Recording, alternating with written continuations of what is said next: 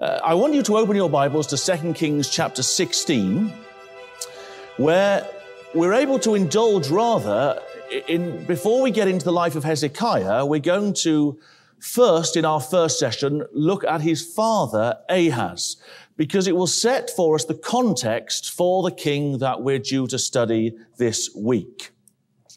We read in 2 Kings 16 and verse 1, in the 17th year of Pekah, the son of Remaliah, Ahaz, the son of Jotham, king of Judah, began to reign.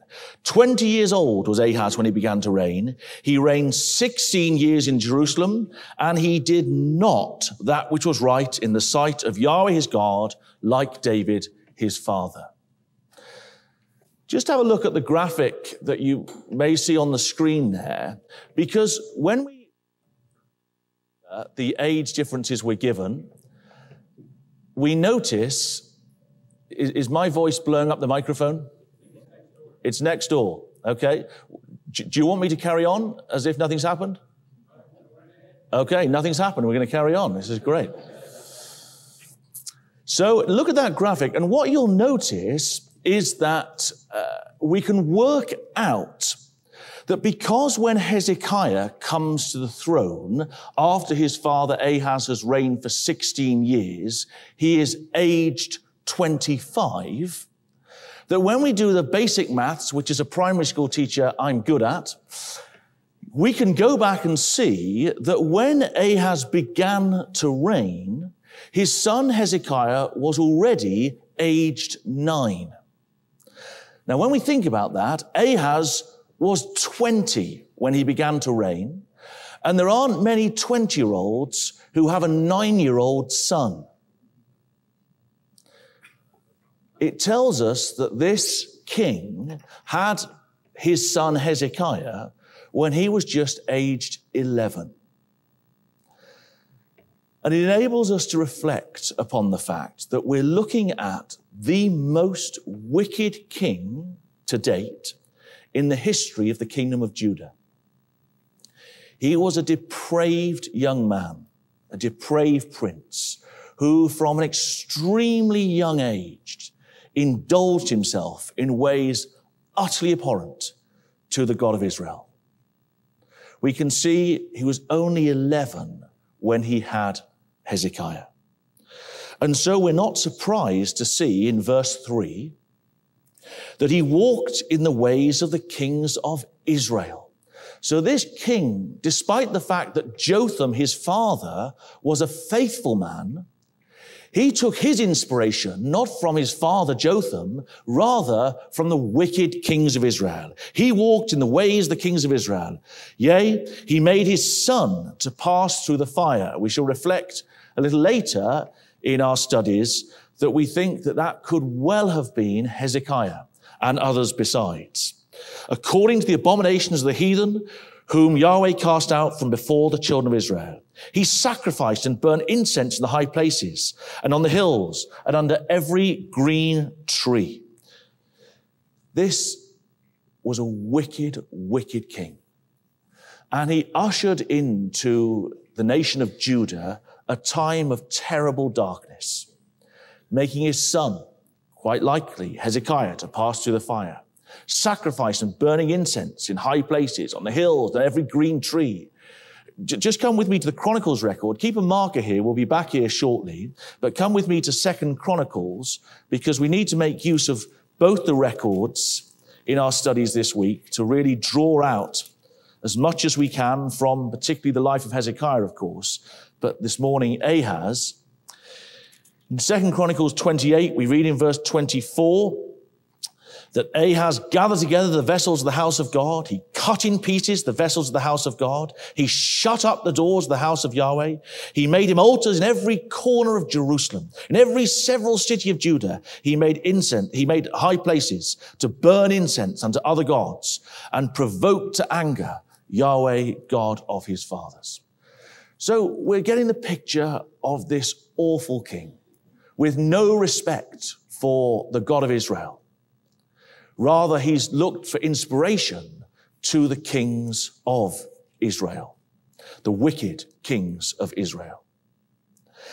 And therefore, we're not surprised to see that the man that chooses to act in this way has a reign of utter chaos.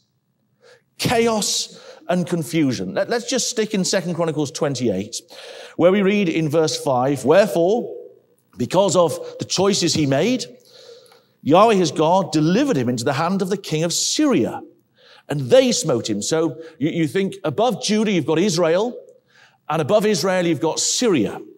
And, and the Syrians come and smite him and carried away great multitude of them captives and brought them to Damascus. And he was also delivered into the hand of the king of Israel. You want to be like the kings of Israel? I'll deliver you into the hand of the king of Israel, who smote him with a great slaughter. Pekah, the son of Remaliah, slew in Judah a hundred and twenty thousand in one day. I mean, just reflect on the crisis we're seeing at the moment in the Middle East and the horror around the death toll in Gaza. We're not yet at 40,000. We're not suggesting it's anything other than awful. 120,000 in one day that Pekah, the king of Israel, slew when he came into Judah during the reign of Ahaz. We keep reading. We read in verse 8 that the children of Israel carried away captive of their brethren 200,000 women, sons, and daughters, and took also away much spoil from them and brought them, brought the spoil to Samaria. We'll come back to that. You can see 200,000 are taken into captivity. 120,000 dead, 200,000 into captivity. 320,000 people suddenly leaving the kingdom of Judah. If that's not enough, go to verse 16. At that time did King Ahaz send unto the kings of Assyria to help him. For again, the Edomites had come and smitten Judah and carried away captives. The Philistines also had invaded the cities of the low country in the south of Judah and taken Beth Shemesh and Aijalon and Gederoth and Shochoh with the villages thereof and Timnath with the villages thereof, Gimzo also and the villages thereof, and they dwelt there. And the Lord brought Judah low because of Ahaz. What do you notice? King of Israel. He wasn't the king of Israel. He was the king of Judah. But what choice did he make? He chose to take inspiration from the kings of Israel. Verse 2. So you connect in your margin verse 19 and verse 2. Because Ahaz wanted to be as the kings of Israel. And so the divine record records him as a king of Israel, a wicked king. And we see the chaos and confusion from the north from, from the southeast, from the southwest, because of his wickedness in not following Yahweh, the God of Israel. Now, when we see in verse 8 that 200,000 women, sons, and daughters were taken away, that is simply an enormous number of people. Just to give you an idea, this is the largest refugee camp in the Middle East today. Uh, this is in Jordan, and there are 80,000 people in that refugee camp. 200,000. That's one and a half times as many, right? It's an incredible number of people, isn't it? Or two and a half times as many, I should say, shouldn't I? It's an enormous number of people that are taken into captivity. And of course, they become refugees.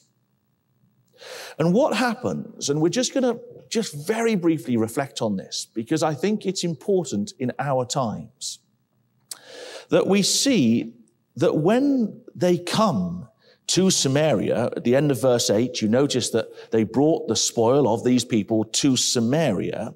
Verse 12, that certain of the heads of the children of Ephraim, Azariah the son of Johanan, Berechiah the son of Meshillemoth, Jehezekiah the son of Shallum, and Amasa the son of Hadlai, stood up against them that came from the war, and said to them, You shall not bring in the captives hither for uh, whereas we've offended against Yahweh already, you intend to add more to our sins and to our trespass.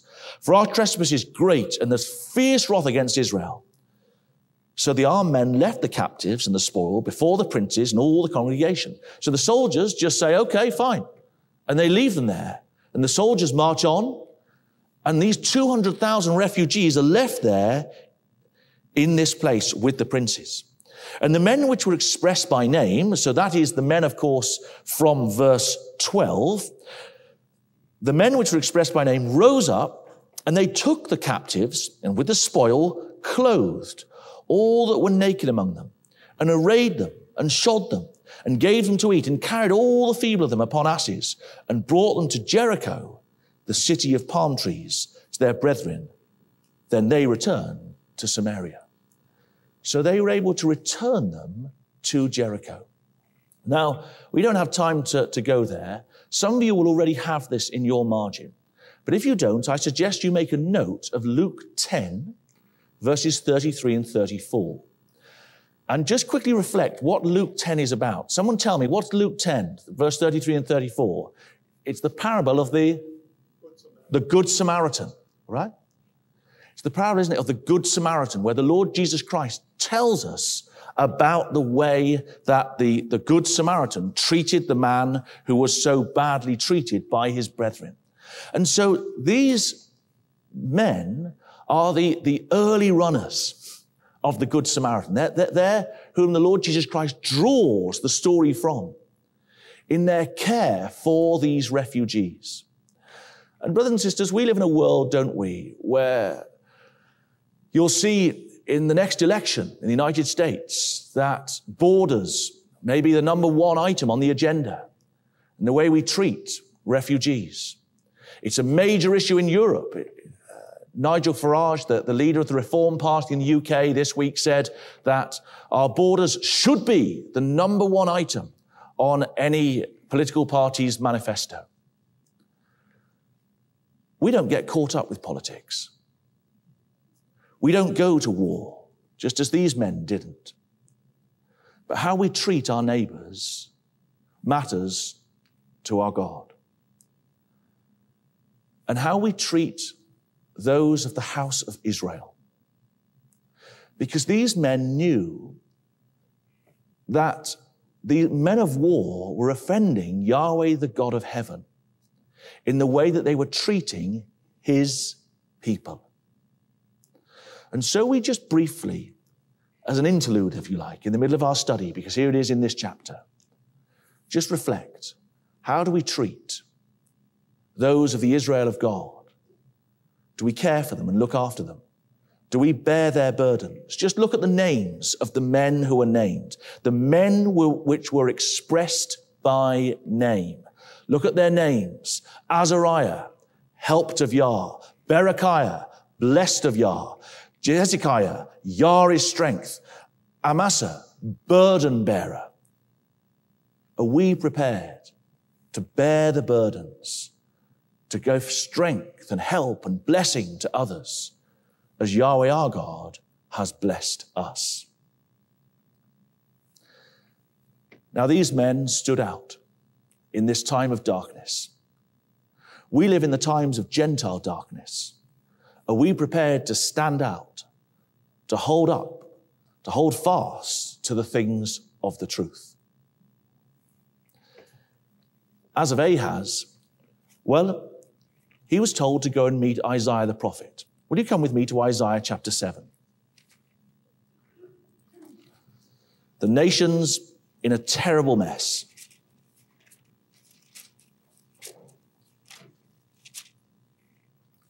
It came to pass, Isaiah 7 and verse 1, in the days of Ahaz, the son of Jotham, the son of Uzziah, king of Judah, that Rezin, king of Syria, and Pekah, the son of Remaliah, king of Israel, went up toward Jerusalem to war against it, but could not prevail against it.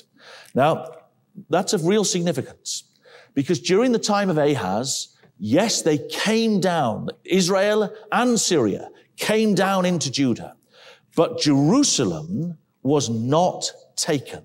Jerusalem is still a city that is, as it were, a city of refuge for any that are faithful. So they come down, but they don't prevail against Jerusalem. And he was told the house of David saying, Syria is confederate with Ephraim. So we know that Ephraim is a synonym, don't we, for Israel. So Syria is confederate with Israel. And his, who's his? Well, his is the subject. Verse 1, Ahaz. So you might circle his, circle Ahaz, and connect them together in verse 1 and verse 2. Ahaz's heart was moved. And the heart of his people, as the trees of the wood are moved with the wind.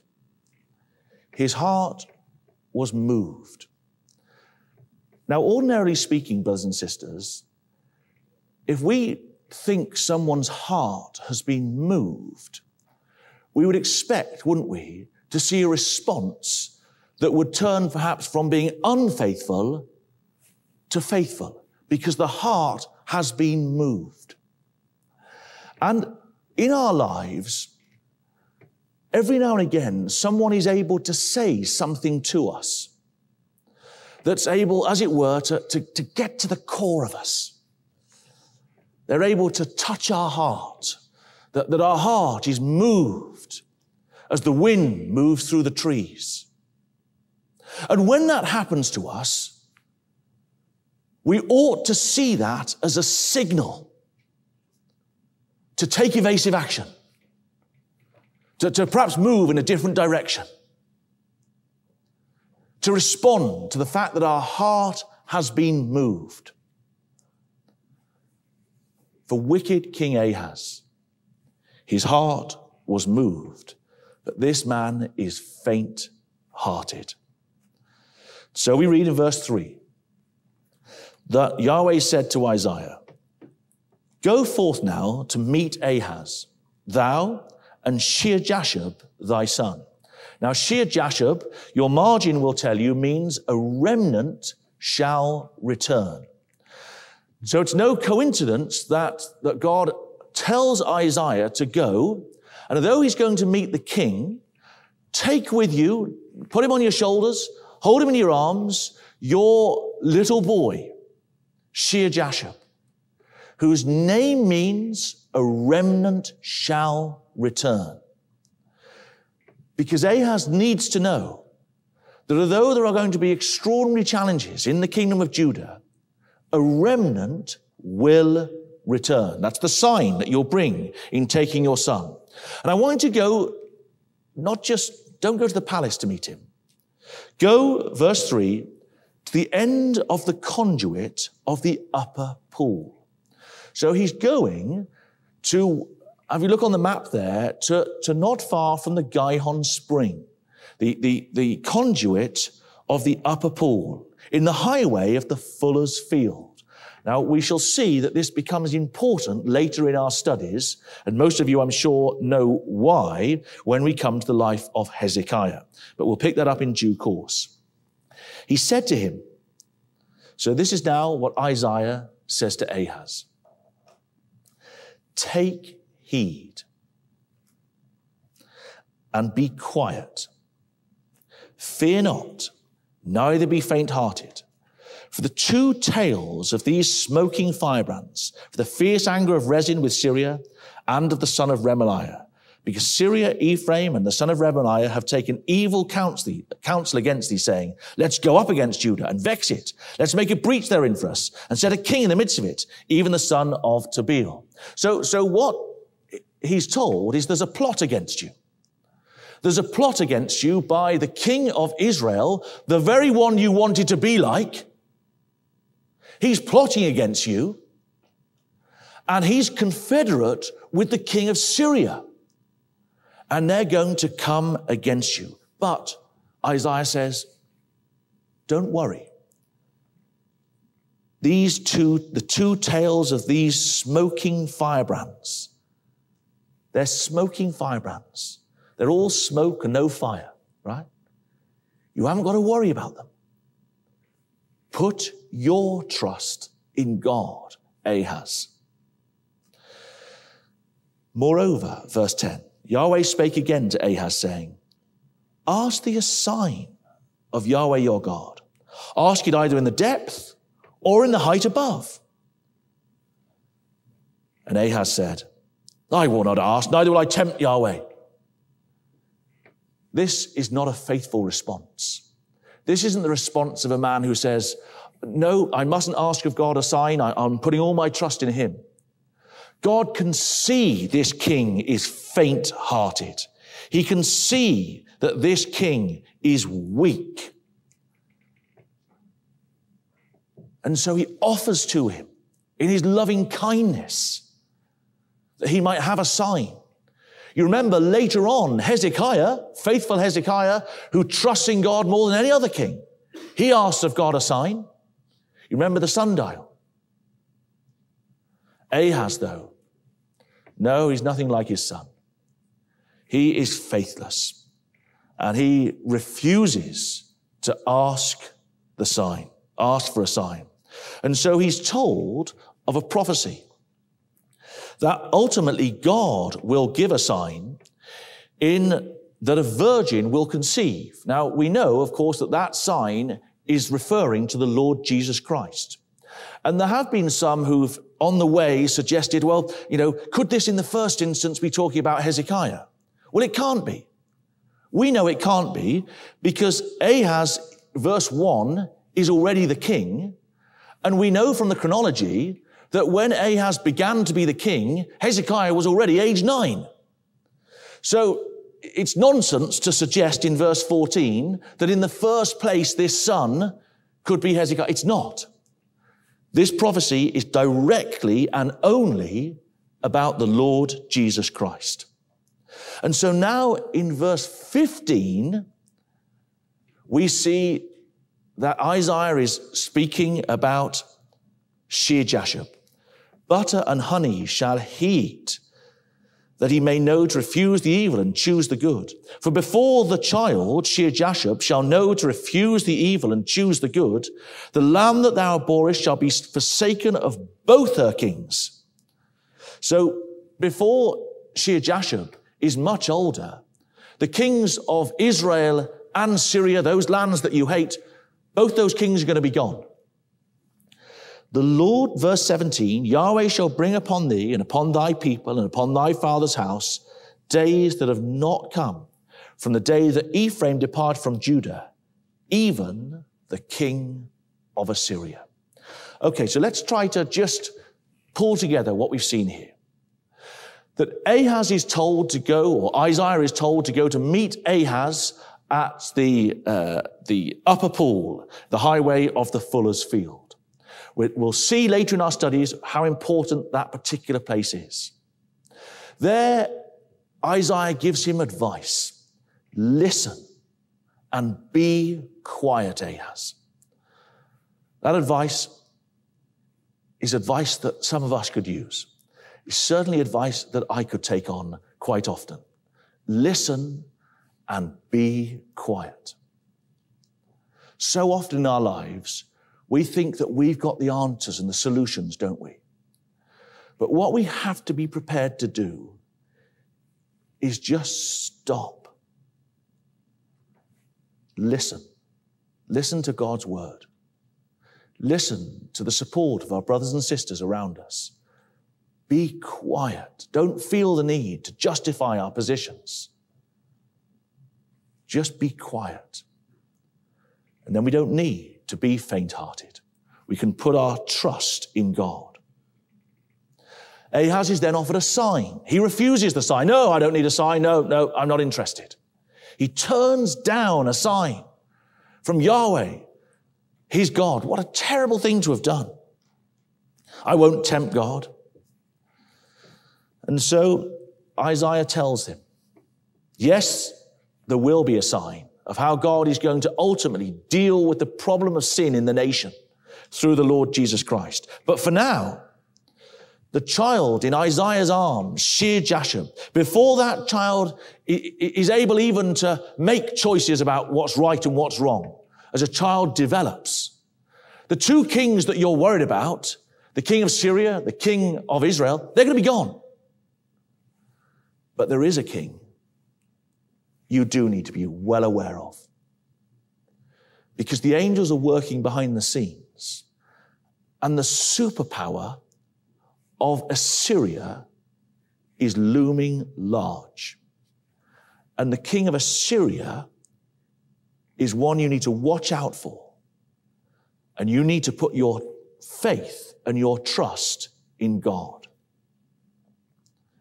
So what does Ahaz do? Will you come with me to 2 Kings 16, where we began?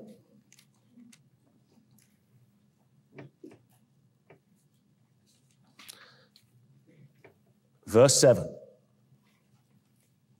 So, Isaiah's given him one piece of advice. The Assyrian is coming. You put your trust in God. So, Ahaz sent messengers to Tiglath-Pileser, king of Assyria. The one thing he shouldn't have done. He's done it. He's gone He's bypassed Israel, he's bypassed Syria, and he's got his messengers up to Assyria, to Tiglath-Pileser, saying, I am thy servant and thy son. Come up and save me out of the hand of the king of Syria and out of the hand of the king of Israel, which rise up against me. He's looking to the Assyrian to save him. And look what he does, verse 8. He, he took the silver and gold that was found in the house of Yahweh in the temple and in the treasures of the king's house and sent it for a present to the king of Assyria. Now, brothers and sisters, we're going to see that Hezekiah is going to reverse this. But we have to be challenged when we read something like this, that Ahaz offers himself as the servant of the king of Assyria. And we know and understand that the Assyrian kings, like the Babylonian kings or the Egyptian kings, represent in scripture king sin. Keep a marker. Will you come with me to Romans chapter 6? Where when the apostle Paul writes to the Romans, and of course, the Roman system becomes king sin, he says in Romans 6 and verse 12, let not sin therefore reign like a king in your mortal body that ye should obey the lust thereof. Neither yield your members as instruments of unrighteousness to sin, but yield yourselves to God. So what Ahaz is doing is he's yielding himself. He's offering himself as a servant and a son to King Sin. We know that the gospel message allows us to be made the sons of God. And he says, not, not for me. I'll be your son to King Sin. I'll be your servant. What then? Verse 15. Shall we sin because we're not under the law, but under grace? God forbid. Know you not that to whom you yield. Now, the word yield is the word present. Whom you present yourselves, servants to obey, his servants you are, to whom you obey, whether of sin to death or of obedience to righteousness. Ahaz is offering himself to King Sin, and it's going to be to his death. And brothers and sisters, we come to Bible school, don't we? Because perhaps too often we do allow our hearts and our minds to wander off to serve King Sin. But in the end, we have a choice. To whom you present yourself, that's who you are. You, you, we, we, can't come to Bible school and, and sort of pretend to be one thing or another. Our God knows the thoughts and intents of all of our hearts. and to whom your heart presents itself each day. The choices that each of us, very much me too, make each day. That determines whose servants we are, whether of sin to death or of righteousness to life and to serve our God. Today, we've made the right choice. This week, we've made the right choice. The challenge is next week. Come back to 2 Kings 16. So he sends messengers up to Tiglath-Pileser, the king of Assyria. He sends the presents. And now King Ahaz himself went to Damascus. I want you to see how serious I am about serving you. So he bypasses Israel and Syria. You imagine that would have been a challenge in itself. That, that they didn't have a lot, they didn't think a lot of this king. And so to get the king from Judah up to Assyria would have been a challenge, but they've got him up there because he's determined. You know, there's no Air Force One in those days. You know, he, he's somehow getting up there because he's determined to get in front of the man who he has said, I am your son and I am your servant.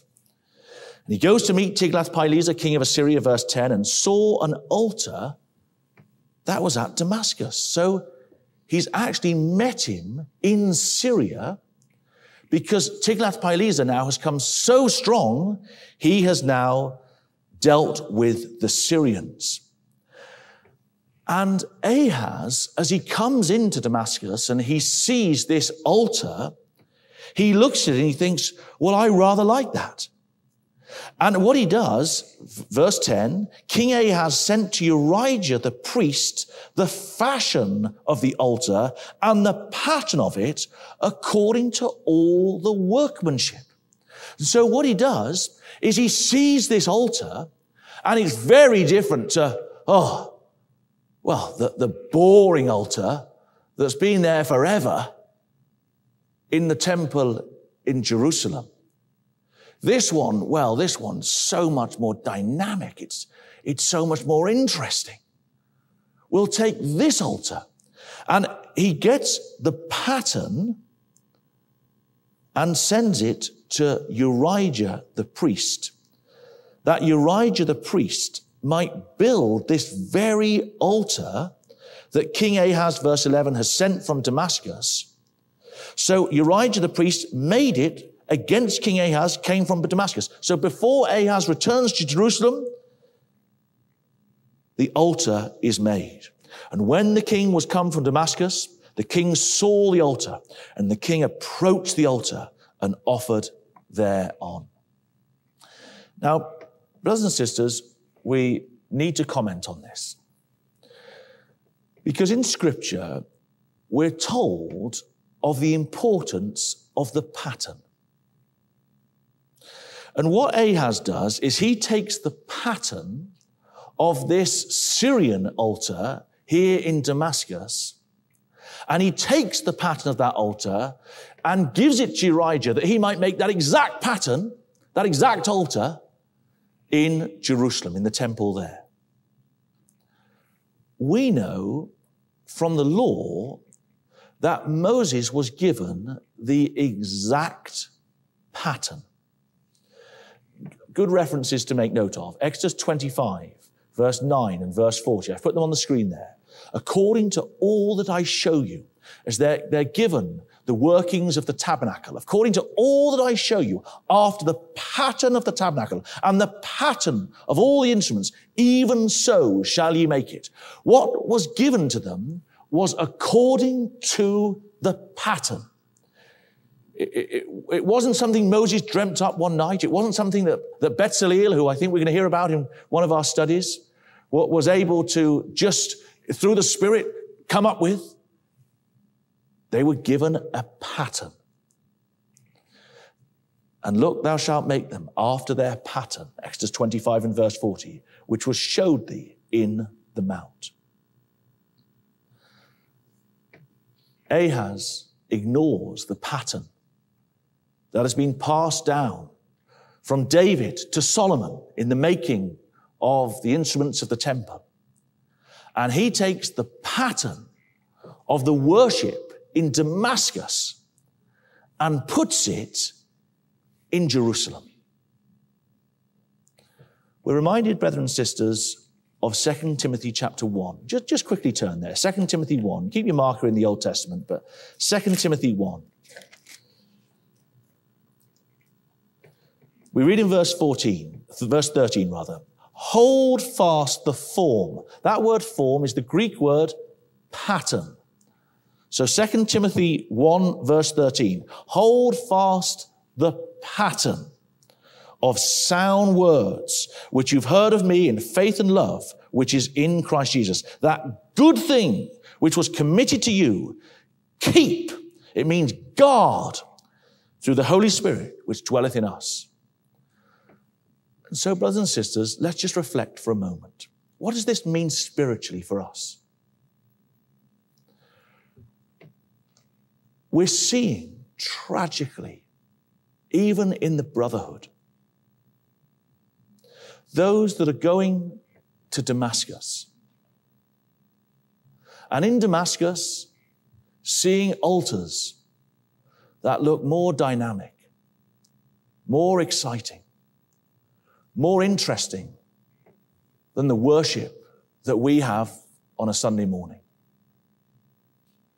We're seeing people wanting an, a completely open fellowship, not according to the pattern. And so we've got to use Bible school as a way to help us hold fast to the pattern of sound doctrine, which has been given to you, which has been given to me. We've got to guard that which was committed to us before the Lord Jesus Christ returns. We cannot allow the altars of Damascus to come and sit in our ecclesias. You've got to make sure that Bible school is an opportunity to talk with others, to boost them and help them. That when we go back to our ecclesias, we're more determined than ever before the Lord comes to hold fast to the pattern which has been given to us. Would you come back with me to the record in Kings, 2 Kings 16? So we see that Ahaz comes into Jerusalem, he comes to the temple, and he approached the altar and offered thereon, and he uh, burnt his burnt offering and his meal offering, and poured his drink offering, and sprinkled the blood of his peace offerings upon the altar. So, so this is his new altar. And he brought also the brazen altar, which was before the Lord, from the forefront of the house, from between the altar and, and the house of Yahweh, and put it on the north side of the altar. So just to have a look again uh, uh, at the front here or the side where you can see a diagram, a simple diagram of the temple. And you see that when you come into the temple forecourt, the first thing that struck you was the brazen altar. But what does he do? He takes the brazen altar and he moves it, we're told in verse 14, the end of verse 14, he put it on the north side of the altar, his great altar from Damascus, the Syrian altar. He replaces it. Now, we could ask the question, why does he even do this? Why doesn't he just abolish the temple altogether? Why does he just set up a Syrian temple and do that? Well, we could ask the same question in the brotherhood.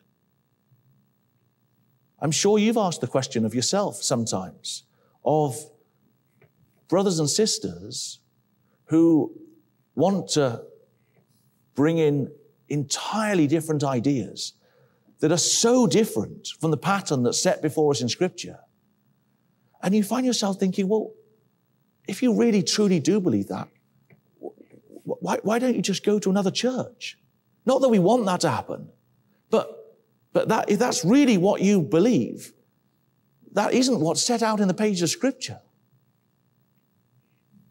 But what people want is this form of godliness.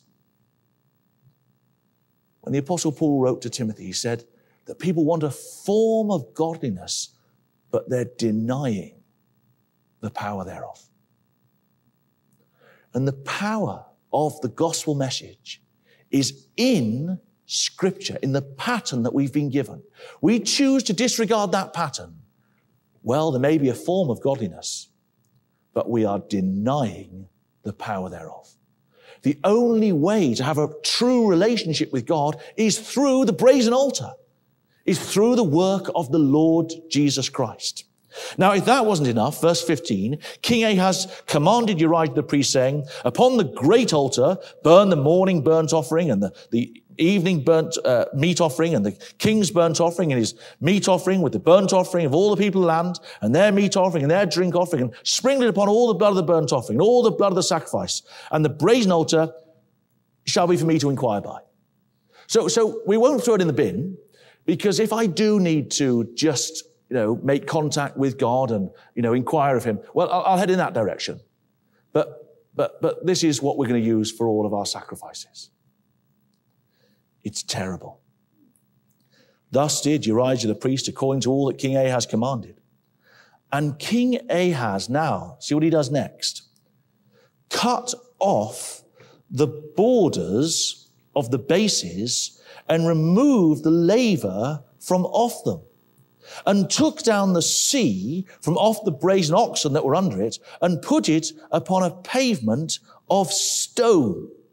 So, so what he does is he now deals with the molten sea. Uh, the, the, molten sea was a large, very large version of the laver that was in the tabernacle. So the first thing we come to is the brazen altar. And then after that, it's the laver, or in the temple, it was the molten sea. But the molten sea, this very large basin, as you can see from that picture, was set upon 12 oxen. It was set upon the brazen oxen. And we know that the oxen in Scripture represent service. Brazen represents man. And so the brazen oxen represented our service before God. The water, of course, represents the word. But what Ahaz has done is remove the importance of the Word of God being set on service. And because he does that, well, we know from the Chronicles record we read earlier, soon the temple closes. Everything starts to fall apart. And brothers and sisters, that's what we see in ecclesial life. Those meetings that choose to, to, to go easy on doctrinal matters.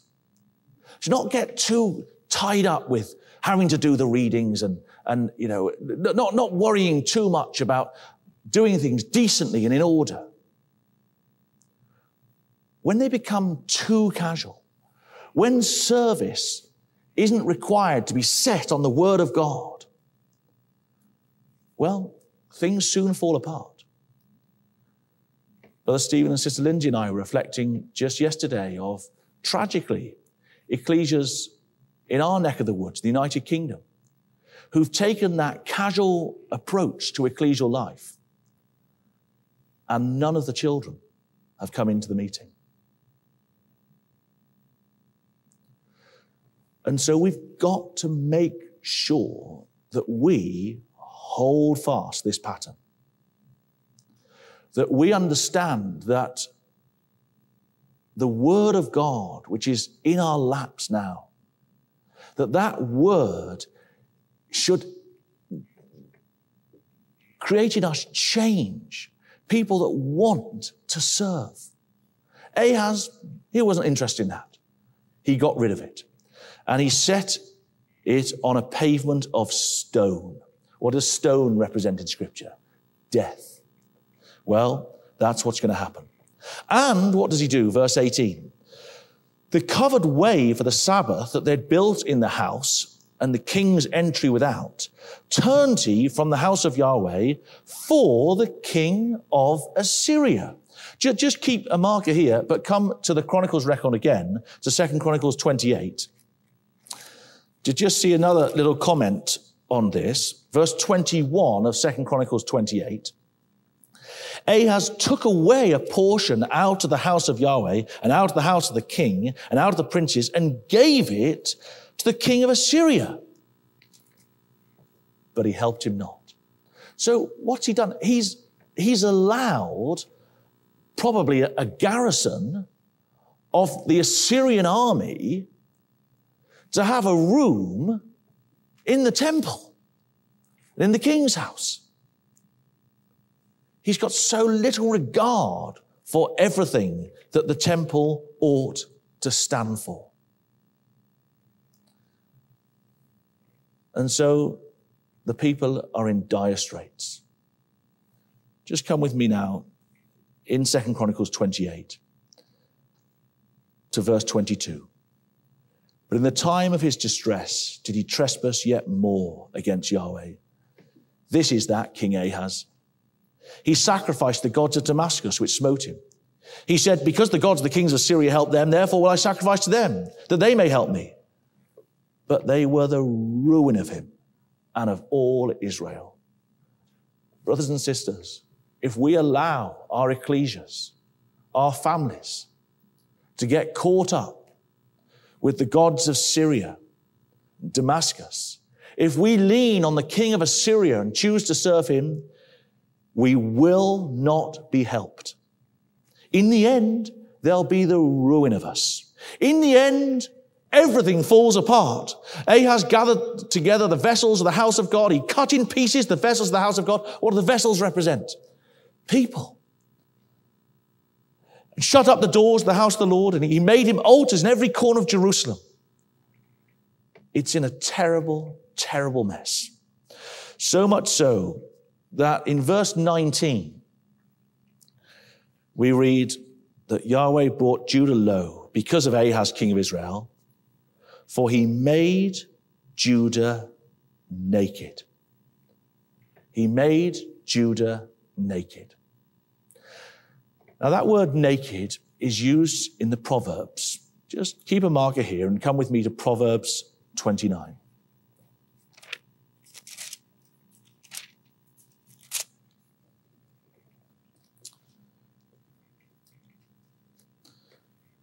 Proverbs 29 and verse 18.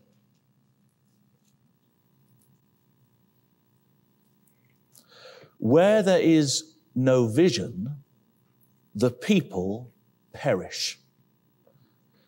He that keepeth the law, happy is he. The word perish, if you look in your margin, is the word naked. It's the same Hebrew word that we have in 2 Chronicles 28 and verse 19. Judah is made naked. Why? Because of King Ahaz. What should a king do? What should a leader do? The job of the leader is to set the vision, is to give direction to the people, to, to, to make sure that they're, they're moving in the right direction. Ahaz completely lost the vision. He lost sight of the pattern. And as such, the people were made naked. And so, brothers and sisters, as we draw our thoughts together for our morning session, let's just reflect. We need to only worship God in the way that He has asked of us. We don't bring our thinking, as it were, to ecclesial life. It's not about us. We leave behind us to serve God and to follow the pattern of sound doctrine laid out in the pages of scripture. And so we've got to make sure in our family lives, in our ecclesial lives, there are no false altars. Nothing is coming in from Syria, from Assyria, from the northern kingdom of Israel, we've got to hold fast to that which is given to us in the Word of God. We've got to make sure we do that because if we don't, your ecclesial hall will close. The doors will soon not open. And so, in contrast, we've got to do everything we can to keep the doors of the ecclesia open. We've got to make sure that our ecclesial doors are open. We're going to see that Hezekiah is going to fix this in the first year, the first month of his reign. We've got to ensure that our worship to God is based on service.